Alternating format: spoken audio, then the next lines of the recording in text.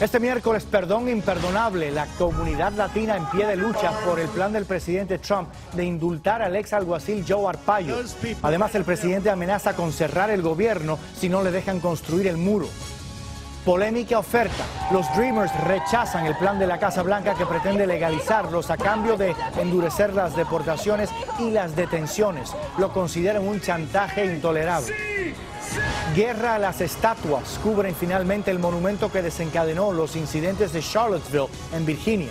La polémica se extiende ahora a las estatuas de Cristóbal Colón. Furor por el Powerball. Jugadores a lo largo y ancho del país se ilusionan con un premio de más de 700 millones de dólares, el segundo más grande en la historia de la lotería. Noticias Telemundo comienza ya.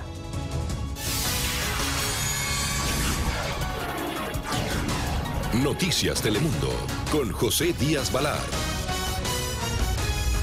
Hola, ¿qué tal? Muy buenas tardes. La Casa Blanca tiene todo listo para el perdón del presidente Trump, a quien fuera el alguacil más temido de la comunidad latina. Así lo indican reportes periodísticos después de que el presidente sugiriera anoche que pronto indultaría al ex sheriff Joe Arpaio. Como nos cuenta Víctor Hugo Rodríguez, las palabras de Trump generaron el rechazo inmediato de muchos latinos en Arizona. I'll make a prediction. I think he's going to be just fine, okay? Las palabras del presidente Trump en Phoenix prediciendo que Joe Arpaio estaría bien dejaron molestos e indignados a los críticos del controversial ex alguacil del condado Maricopa. Eh, no solo ahora perdona Arpaio, pero se una a, a, la legacía que hizo Arpaio aquí en el condado de Maricopa, al racismo. So, was Sheriff Joe convicted for doing his job? That's what. El discurso causó controversia cuando el presidente abordó el tema del ex alguacil del condado Maricopa, Joe Arpaio. Y si le damos el perdón a él, tenemos que darle perdón a todos. Y aunque el presidente no habló de perdón, hoy varios medios aseguran que la Casa Blanca ya tiene lista la documentación necesaria para el perdón de Arpaio, quien no asistió al evento, pero sí agradeció al presidente por su apoyo. El ex alguacil fue hallado culpable de desacato a un juez federal al no dejar de usar el perfil racial al momento de detener a inmigrantes indocumentados durante sus operativos. Y hemos visto que en esta administración este presidente tiene una agenda racista. La presencia y el discurso de Trump en Phoenix hicieron arder los ánimos. Mientras adentro sus seguidores lo aplaudían, Afuera estallaban los enfrentamientos entre quienes lo apoyan y cientos de manifestantes que abarrotaron las calles y fueron forzados por la policía a desalojar el área. Eso no es lo que representa nuestra comunidad. Han habido muchísimas marchas, esta fue una de ellas donde hemos demostrado que siempre marchamos en paz. Y fue justo aquí frente al centro de convenciones donde según la policía indicó que los manifestantes les aventaron varias botellas de agua por lo que ellos tuvieron que lanzar gases lacrimógenos. Desde Phoenix, Arizona, Víctor Hugo Rodríguez, Noticias Telemundo. El anuncio de que piensa indultar a Arpaio no fue la única polémica de la noche. El presidente Trump demostró que está dispuesto a todo, a todo para avanzar con el muro fronterizo. Ante el entusiasmo de sus seguidores, Trump aseguró que no le importa si cierra el gobierno por falta de presupuesto con tal de cumplir con su promesa de construir la pared en la frontera con México. Now, the obstructionist Democrats would like us not to do it, but believe me, if we have to close down our government, we're building that wall. Tampoco cayó bien en México la amenaza del presidente Trump de retirarse del Tratado de Libre Comercio. De hecho, hoy la cotización del peso se desplomó después de las palabras de Trump, quien califica el acuerdo comercial como injusto y un desastre para Estados Unidos. Raúl Torres tiene todas las reacciones. Solo fueron algunas firmas, pero fue una bofetada con guante blanco. Legisladores de México y de Arizona, además de empresarios y la organización Chicanos con Causa, firmaron acuerdos de cooperación apenas un día después de las palabras del presidente Donald Trump. Coincidencias como las que hoy estamos viendo aquí, de un trabajo de fronteras que hermanan a las naciones. Y... So I think we'll end up probably terminating. En su discurso en Arizona, el presidente Trump dijo que probablemente terminaría con el Tratado de Libre Comercio. Para el canciller mexicano Luis Videgaray, la declaración fue solo una medida de presión. Camioneros en Ciudad Juárez, Chihuahua, que todos los días cruzan la frontera con mercancías, no le temen a Trump. Dicen que si termina con el acuerdo comercial, ambos países perderían por igual. Están en México porque les conviene. Porque necesitan de nuestra calidad de mano de obra, porque necesitan ser competitivos. El presidente Trump también insistió en su otra amenaza favorita, la construcción de un muro entre ambas naciones. La respuesta desde México fue la misma de siempre. En la frontera dicen que no habrá muro que detenga a los emigrantes. No impiden nada porque hacen hoyos abajo del, del se hacen los túneles. Mientras que la organización Chicanos en Causa le recordó al presidente Trump que Estados Unidos necesita a los trabajadores mexicanos. Me parece eh, que él puede decir hoy esto, mañana otra cosa, como él ha hecho de manera constante. Y por eso no creen que Donald Trump pueda cumplir con sus promesas. En México, Raúl Torres, Noticias Telemundo. De vuelta a Estados Unidos hay indignación entre la comunidad inmigrante por los planes de la Casa Blanca para los Dreamers. El gobierno contempla perdonarlos a cambio de realizar más arrestos y deportaciones. La principal asociación de Dreamers considera intolerable que los usen como moneda de cambio. María Paula Ochoa nos amplía. Mi, familia toda es inmigrante. ¿Cómo voy, a, ¿Cómo voy a salir adelante sin ellos? Así reaccionó Yanaí cuando escuchó que asesores del presidente Trump planean llegar a un acuerdo con el Congreso, otorgar protección a los beneficiarios de DACA a cambio de obtener más recursos para construir el muro fronterizo y nuevos centros de detención, según dice la publicación McClatchy.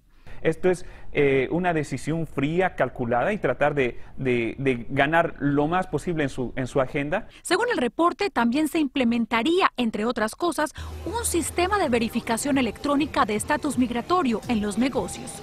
Algunos activistas piensan que la sola idea es reflejo de la manera en que esta administración trata la situación de los inmigrantes e intenta moverlos como fichas de negocio. Están usando a nuestros jóvenes DACA como moneda de cambio para ellos decirle a, pues al Congreso, eh, yo te defiendo a los DACAS, pero me dejas deportar a todos los demás.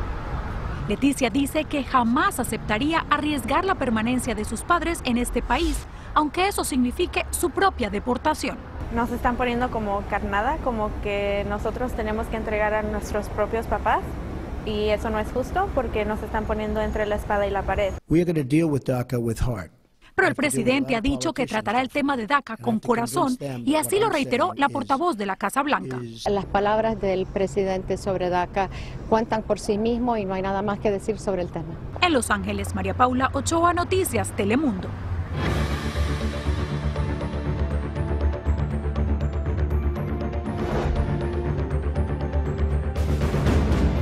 El primer Dreamer deportado en la era Trump podría estar pronto de regreso en Estados Unidos. En una audiencia en una corte de San Diego, la defensa de Juan Manuel Montes pidió al juez que permita que el joven de 23 años vuelva al país mientras se resuelve su demanda contra ICE. Al concluir la cita judicial, abogados y activistas se mostraron optimistas sobre una resolución rápida del caso. Hoy la Corte ordenó que como parte de esta preparación para esta audiencia que se va a llevar a cabo, el gobierno nos tiene que entregar toda la evidencia que ellos tengan acerca de lo que sucedió el 18 de febrero. Estamos muy alentados ya que el juez ha determinado de que este caso debe agilizarse para que de esta manera no se entorpezca más eh, la calidad de vida de Juan Manuel en el vecino país de México donde fue deportado. Los abogados de Montes aseguran que el joven protegido por DACA fue deportado sin justificación en febrero pasado por su parte, el gobierno sostiene que no tiene ningún registro de la deportación de Montes. En Chicago, una madre indocumentada prefirió encerrarse en una iglesia que separarse de su esposo y seis hijos. Su caso refleja la desesperación de millones de mujeres que temen que en cualquier momento la sombra de la deportación rompa sus hogares. Rogelio Moratagli amplía. Te damos gracias, Señor, por la familia Lino, Señor. Fue una decisión de último momento.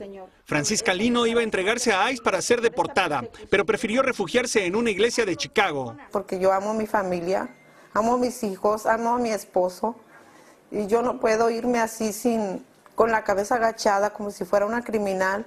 Tiene seis hijos, todos son ciudadanos estadounidenses, igual que su esposo Diego. Tenemos que luchar unidos y no dejar que pisoteen nuestros derechos. Hoy fue recibida en la Iglesia Metodista Unida Adalberto. Su abogado le dijo que aún puede luchar por su caso. Y si el juez dice que me tengo que ir, pues me voy, pero no me voy a ir sin jugarme mi última carta. El abogado le notificó a ICE que está en la iglesia, pero que no se esconde, solo busca la protección de su Dios. Se trata de la misma iglesia donde hace 10 años se refugió Elvira Arellano, una de las primeras inmigrantes que recurrió a esta medida. Ella dice que son tiempos muy difíciles y se deben buscar todas las alternativas. Y una de esas opciones es el santuario como un refugio para evitar la deportación y separación de familias. La pastora Cortés pide que otras iglesias se sumen al movimiento santuario. Que no tengan miedo y que como pastores tengamos esa valentía de abrir las puertas. La mujer de 50 años no tiene antecedentes penales, pero sí una orden de deportación de 2005 por reingresar ilegalmente al país después de ser repatriada. Ella dice que su único delito fue buscar un futuro mejor para su familia. El presidente dice que está sacando criminales y lo que está haciendo es sacar gente trabajadora que solo vinimos a trabajar para darle una vida mejor a nuestros hijos. Rogelio Moratagle, Noticias Telemundo. Hoy nos cuenta su calvario, un calvario, una mexicana que denuncia que las autoridades de Veracruz la sometieron a la más terrible tortura física y sexual para que se declarara culpable de secuestro. Y como explica Isa Osorio, las estadísticas indican que casos como el de María del Sol son casi rutina en México. María del Sol sobrevivió a la tortura. La detuvieron de forma arbitraria hace cinco años. La martirizaron hasta casi matarla. El objetivo de los elementos de la Fiscalía de Veracruz era obligarla a confesar un secuestro que ella no cometió. Empezaron a levantar la ropa, a bajar los, los pantalones y a pasarme los toques así por todo el cuerpo, así, así, así a pegarme en el estómago. Con fortaleza suficiente para no derramar el llanto mientras habla, describe cómo tras 14 horas los hombres pasaron de los golpes a la violencia sexual. Me metían la mano, me... no, no, no, o sea, me, me decían que me iban a violar entre todos. Y pues yo ya lo creía porque pues ya me habían golpeado así y dije, ¿y cómo voy a defender? Pero el caso de María del Sol no es el único. En 2016, Amnistía Internacional presentó 2.403 casos de tortura sexual ante la Procuraduría General de la República, pero ninguno fue investigado. La abogada de María del Sol aseguró que la Fiscalía de Veracruz aceptó la determinación de la Comisión Estatal de Derechos Humanos local sobre tortura sexual, pero no levantó cargos a los servidores públicos implicados. Que los perpetradores no sean llevados a un juicio, que no sean señalados y que finalmente queden en la impunidad, eso hace que estos hechos se repitan. Hace unos días un juez en Veracruz determinó que María del Sol fue acusada injustamente de secuestro y ordenó su liberación. Que mi caso sirva de como que de motivación. Dentro de prisión, María tuvo a su hija y con ella empezará una nueva vida. En la Ciudad de México, Isa Osorio, Noticias Telemundo. Mataron a balazos a un periodista de Veracruz muy conocido por sus investigaciones sobre asuntos policiales y casos de corrupción. Cándido Ríos Vázquez llevaba cinco años bajo un programa de protección del gobierno. Hace solo unos días había denunciado amenazas de un exalcalde, pero ni eso evitó que se convirtiera en el décimo periodista asesinado en México este año. En el ataque afuera de una gasolinera también murieron dos hombres que lo acompañaban, uno más resultó herido. Por cierto, hoy pues se cumplen 100 días del brutal asesinato del periodista Javier Valdés, Valdés en Sinaloa. Son 100 días sin justicia para un comunicador que solo hacía su trabajo de informar y denunciar. 100 días. La polémica por las estatuas confederadas no se apaga. Trabajadores cubrieron con una lona negra los monumentos que desencadenaron los violentos incidentes en Charlottesville, Virginia, a principios de mes. El acto aprobado por el Consejo entero de la ciudad se hizo como símbolo de duelo por la mujer que murió atropellada por un supremacista blanco ahí en Charlottesville. Luego de estos disturbios en Maryland y también en otras partes del sur del país planean retirar más estatuas confederadas. Y de esta polémica sobre pues, personajes históricos tampoco se libra Cristóbal Colón.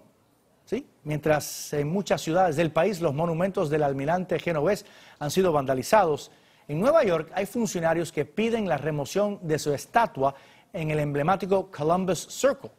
Como nos dice Diego Arias, la idea tiene defensores y detractores. A martillazos, este hombre encapuchado vandalizó la estatua más antigua de Cristóbal Colón en Norteamérica, ubicada en Baltimore, Maryland.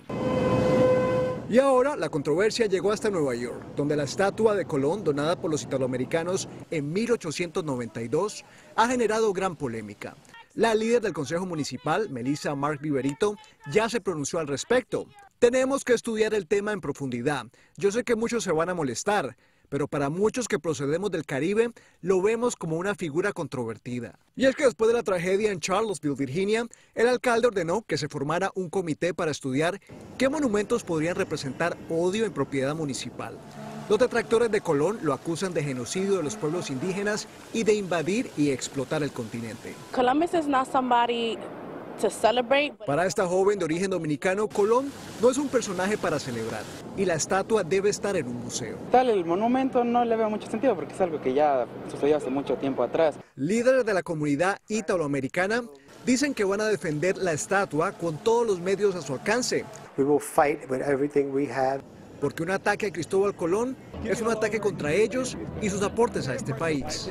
No podemos juzgar a los colonizadores que vinieron de Europa en el siglo XV y XVI por las normas del siglo XXI. Es absurdo. El alcalde Bill de Blasio, de madre italiana, ha dicho que quiere que el proceso sea imparcial. El comité que evaluará las controversiales estatuas tiene 90 días para determinar cuáles se quedan y cuáles se van. En la ciudad de Nueva York, Diego Arias, Noticias Telemundo. Barron, el hijo menor del presidente Trump, lo están acusando de no vestirse a la altura de la Casa Blanca. Las críticas en un portal conservador despertaron la indignación de Chelsea Clinton, quien ha salido a dar la cara por él otra vez. Lori Montenegro con los detalles. Ambos son miembros de un club exclusivo, Chelsea Clinton y ahora Barron Trump. Están entre los pocos que llegaron a la Casa Blanca como niños y saben lo que es vivir bajo la mirilla de todos. Por eso nos sorprendió que la única hija del expresidente Bill Clinton y la exsecretaria de Estado Hillary Clinton saliera a la defensa de Barron Trump. Después que el portal conservador Daily Caller saliera con el titular, es hora se vista mejor y mostrando al niño de 11 años llegando de vacaciones en camiseta y pantalón corto. Es hora que los medios y todos dejen a Barron Trump en paz, decía Chelsea Clinton, y le permitan tener una infancia privada como se merece. Porque él es un niño, ¿no? O sea, no tiene nada que ver con la política. Entonces es como hasta una forma de bullying, ¿no? En mi punto de vista es como mitad y mitad. O sea, hay momentos donde sí tiene que ir formal porque ni modo que vaya a cualquier lado así. Pero también es un niño, entonces en algunos momentos debe andar en choricamiseta. Es la segunda vez este año que Chelsea Clinton, que también es madre, ha salido a la defensa del hijo menor del presidente. La relación entre las familias Trump y Clinton data de varios años. Antes de ser rivales políticos fueron amigos. Y eso parece que no se le olvida a la primera dama, quien agradeció a Chelsea el gesto y agregó, es muy importante dar apoyo a todos nuestros niños para que puedan ser ellos mismos, seguido por paremos el acoso infantil. La regla sagrada es no mencionar a los hijos menores de los presidentes, algo que algunos dicen Melania debía recordarle a su esposo, quien recientemente mencionó por nombre a Barron en un mensaje de Twitter mientras se burlaba de la investigación rusa. El ejemplo, dicen, comienza por casa. En Washington, Lori Montenegro, Noticias, Telemundo.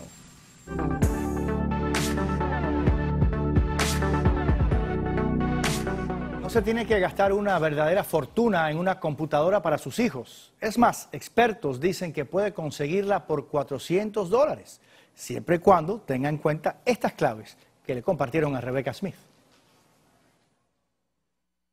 Prácticamente todo lo que se hace en la, en la escuela, eh, con computadora. Gabriel quiere la mejor computadora para su hijo, pero a un precio asequible. Pero encontrar la perfecta, dice, es toda una odisea. Como 300 dólares, no puedo, mi presupuesto no da para mucho tampoco. Entonces, ¿cómo podemos encontrar la computadora ideal para nuestros hijos sin que se quiebre nuestro bolsillo? Si nosotros sabemos la utilidad que le vamos a dar a ese computador. Este experto tiene una recomendación para adolescentes que solo realizarán tareas usando procesadores de texto o búsquedas navegando por Internet. Si usted se mantiene en los 2 GB de memoria o 4 como máximo y 128 de disco duro, usted está en el rango correcto para conseguir un computador en 400, 350, máximo 500 dólares. Y si quiere una computadora para niños más pequeños, Josbeli Peña aconseja no gastar más de 300 dólares. Que es algo básico que van a hacer, eso no necesitan tanto un interés. Comprar una computadora puede ser sobreacogedor, sobre todo porque hay tantas ofertas de precio, tamaño y marca. Pero expertos nos recomiendan que usted tenga muy claro para qué es que la va a usar. En pocas palabras, pagamos por memoria y diseño. A más memoria, mayor precio. La revista Consumer Reports recomienda las siguientes computadoras por menos de 500 dólares. En el primer lugar, Microsoft Surface 3. En el segundo, Asus VivoBook. Y en el tercero, Dell Chromebook 13. Así que, antes de gastar una fortuna en este regreso a clases, asegúrese de conocer las necesidades de sus hijos para que la siguiente computadora cumpla con todas sus expectativas. En Nueva York, Rebecca Smith, Noticias Telemundo. Amigos, el Powerball alcanzó los 700 millones de dólares. Esta noche muchos están con los dedos cruzados o haciendo cualquier tipo de ritual para la fortuna con la ilusión de ser el nuevo gran millonario. Las posibilidades son de apenas una en 292 millones y hasta ahí. Bueno, es más probable morir impactado por un asteroide que ganar, pero eso no desanima a los apostadores. Y es que esa jugosa suma no es para ignorarse, es la segunda más grande en toda la historia del sorteo. Si juega, la mejor de las suertes. Dicen que si uno gana 700 millones y decide recibir la totalidad de ese dinero después de pagar impuestos y todas las penalidades, le llegaría un cheque a casa de 330 millones de dólares. ¿Qué le parece? Así llegamos al final de esta edición de Noticias Telemundo. Gracias por el privilegio de su tiempo. Más noticias esta noche a las 11, 10 centro, aquí por Telemundo. Muy buenas noches.